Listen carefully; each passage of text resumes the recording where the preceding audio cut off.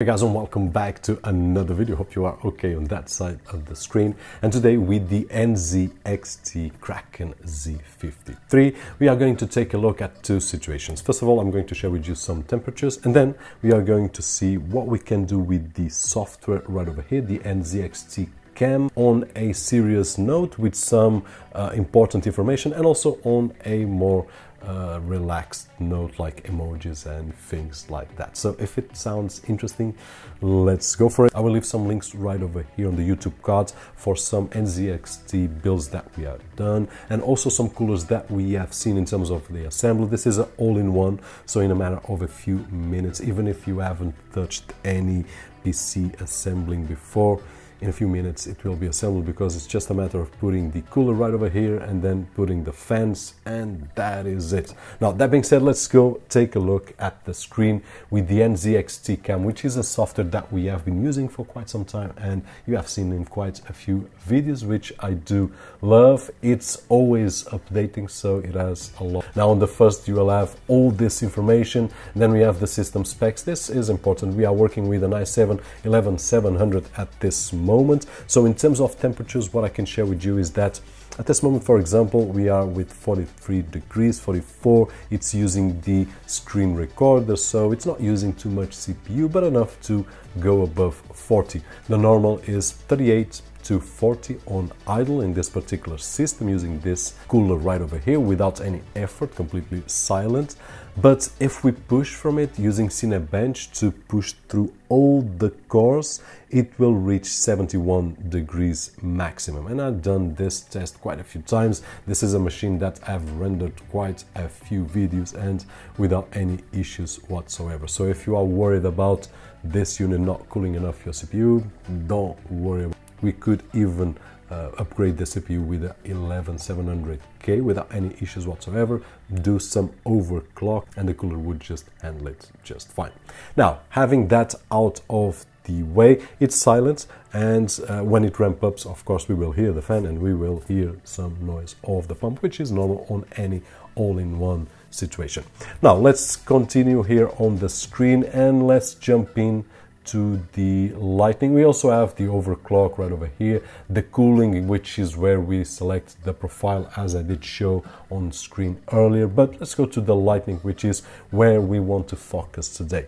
Now at this moment, we are showing the CPU temperature right over here and we have these uh, presets that we can choose, but we will not work with the presets. We will um, customize ourselves. We can change the name, and if we click, we will have a menu right over here. Now, the colors by default, it's something like this. No, not like this, but probably like this. I think this is the default colors. I'm not really sure of what it was because I've changed it so many times, but um, it looks really nice and we can do something else which is to change the colors of the text. We can change the colors of the logo.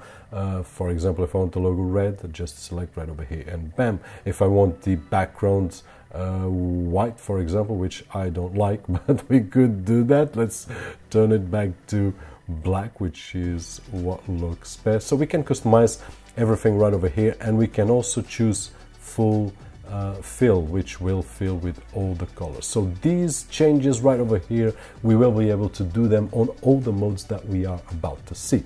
Now this is one which will show us the CPU we also have here dual infographic which is one that I really enjoy. It will show me uh, a little bit smaller but we have the CPU and GPU and especially when we are playing games and rendering videos we are not looking at the screen. We can just check the cooler right over there to see how this system is performing, in my opinion, of course. Now, let's go for another one. We will leave GIF for the end. Liquid temperature, so we can check how the liquid is doing and of course with all the options that we have right over here the GPU temperature which at this moment 59 fans are stopped we are recording the screen so we are using a little bit of the GPU not enough to spin up the fans but uh, we will have this higher temperature. Now let's go for another one. CPU load, we are about 5% and CPU GPU load at this moment. It will show 0% okay? And if we go to CPU clock speed we are at the maximum 4400 megahertz which is the maximum of this CPU right over here. So these are the ones that are more serious. Now let's take a look at the GIFs which is one of my favorites.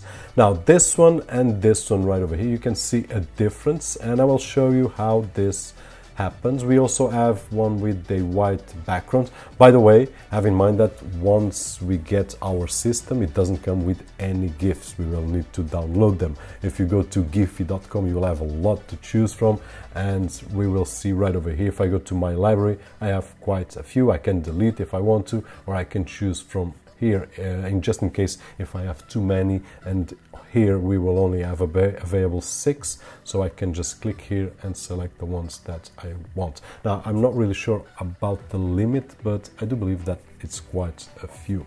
Now let's take a look at how uh, this difference happens. And to that I'm going to upload the GIF can be this one right over here. And then on the menu it will give me this option which if I go really really big what happens is that the emoji will be smaller right over here on the frame. Now if I go bigger what happens is that it looks like this. So if I upload one and let's select this one right over here and if I go exactly on the size of the emoji more or less, what happens is that it will look a lot larger right over here on the cooler. So this is great. Now let's upload one different just so that you can see this one right over here. For example, it's a different from the emoji so that you can see the colors. And there we go. One hand looks really, really cool. Let's take a look at this cat, which uh, I, I love cats. I don't uh, particularly like this GIF, but there are so many cat gifs online, which is crazy. Let's put this one right over here, and there he goes, completely crazy dancing right over there. Let's give another example. And one thing that I would like to share, I'm not really sure if you can see the pixelization right over here.